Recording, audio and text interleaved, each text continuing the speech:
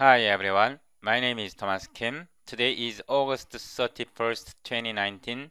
This is my 17th episode about C-Sharp programming for desktop application using Windows Presentation Foundation. In our previous episode, episode 16, we learned how to read, load, and write or save XAML string. If you haven't watched this video, please watch this video because my current session continues from my previous video. If you haven't watched this video, you may not be able to follow this session. Also, if you want to learn more about C-Sharp programming both desktop application using Windows Presentation Foundation, please watch this series of videos. In this episode, we will learn how to load XAML in Windows Presentation Foundation programming. More specifically, we will learn how to use XAML resource in Windows Presentation Foundation programming. We will also use URI and name property of a control and how to find a control in the XAML resource. I highly recommend you to read this book. I believe application equals code plus markup. This book by Charles Petzold is the best resource to learn Windows Presentation Foundation programming. Without further ado, let's get started. Start Visual Studio 2019. Go to File, New, Project, select C Sharp language, Platform, Windows, Project Type, Desktop. If you scroll down, you can find empty project .NET Framework. Click Next. Project name will be Load XAML. Solution name will be Load XAML Solution. Click Create. Right-click References. Add references. Select Microsoft C Sharp. Windows Presentation Core Windows Presentation Framework. Scroll down. System. Scroll down. System Windows. Scroll down. System XAML. System XML. Scroll down. Windows Base. Click OK.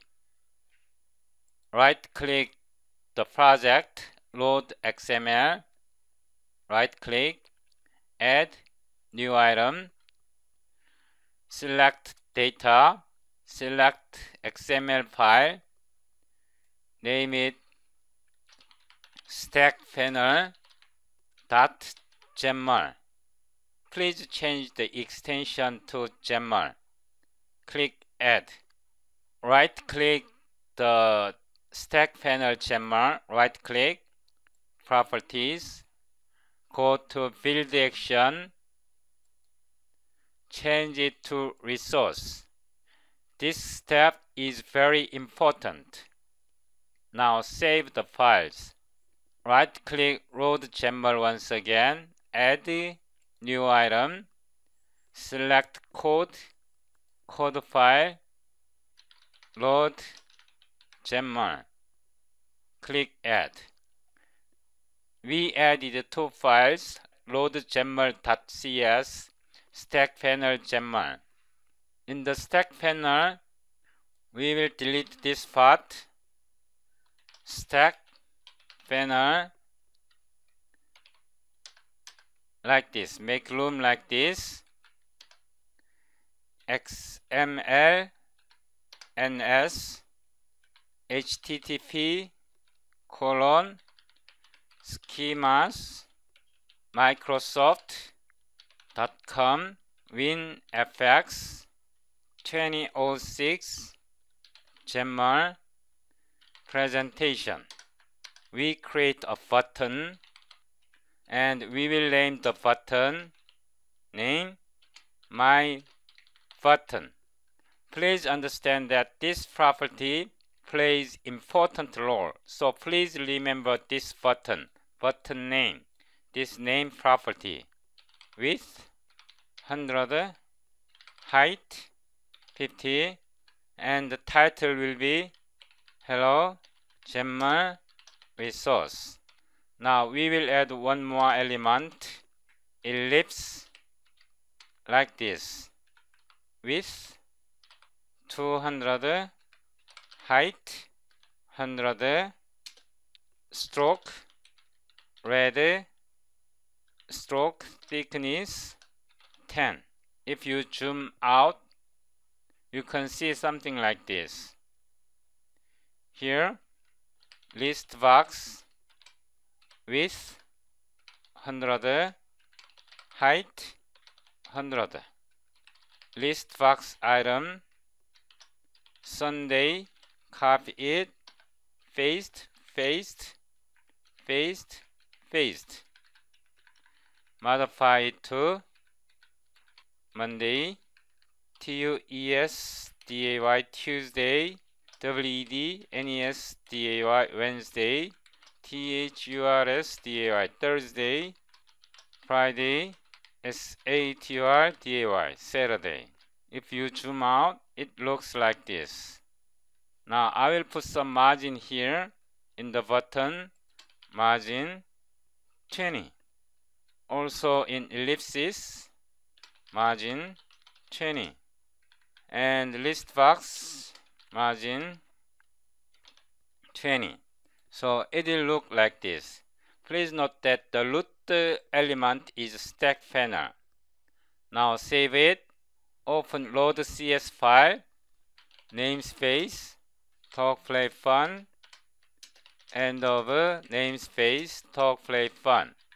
Using windows system windows.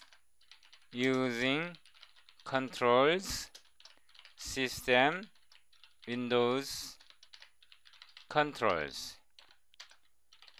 Using IO system IO using markup system windows markup. Class my window windows window. And over class my window. Public my window. This is constructor. System STA thread static void main. Var app new windows application. We create an instance of application. App. Run. New. My window. So we created the function main like this. Now here this title load XAML resource. Step 1 we create an instance of URI var URI new system URI we provide like this pack colon application colon. Please remember this syntax. Then three commas, then forward slash, then this stack panel XAML file name. Stack panel XAML. Okay, please remember this syntax. Select system URI, press F1 then it will open in your web browser URI constructor will open. Scroll up. Then you can read more about URI class. I will copy this link for your reference. Step 2 we create resource stream info using URI like this var resource stream info windows application get resource stream we provide URI get resource stream function is a static member of application. It returns stream resource info. I say stream resource info. Step 3 extract stream from stream resource info var stream. Stream resource info stream. This is a property. Step 4 load the stream and convert it to framework element. Var framework element. Markup XAML reader load stream as Windows framework element. Now this contains framework elements. Find my button from the framework element. Please understand that we defined this my button in this stack panel we are trying to find this element, this button element, like this. var button framework element find the name my button it returns an object an instance of object so we have to typecast to controls button if button not null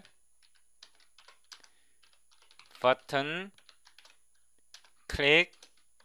Button clicked now we define button clicked member function. This is event. Here. Void. Button clicked object. Sender. Windows routed event arg e. I talked about routed event in our previous episode and I will deal with routed event in some future episode. var button as equal e source as controls button. If button not null var message button button contents clicked. Windows message box show msg now right click the road XAML project name properties output type windows application. Now save all. You can close it now Control F5.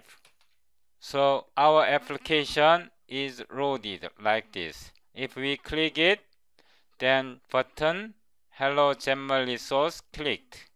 If you haven't watched my previous videos about Windows Presentation Foundation, this session can be quite challenging. In my YouTube channel, playlist, C Sharp Programming, if you followed this series of videos starting 01 Hello C Sharp up to this video up to 16th episode, you can understand this episode. If you haven't watched my previous episode, my current session can be quite challenging. I highly recommend you watch this series of videos in the order of list. I will upload complete source code to C Sharp talkplayfun.com website. By the time you watch this video, you can click this link and download the complete source code. If you unzip the downloaded file, under class Windows Desktop Applications folder, you can find the complete source code. Please subscribe to my YouTube channel. Thank you for watching.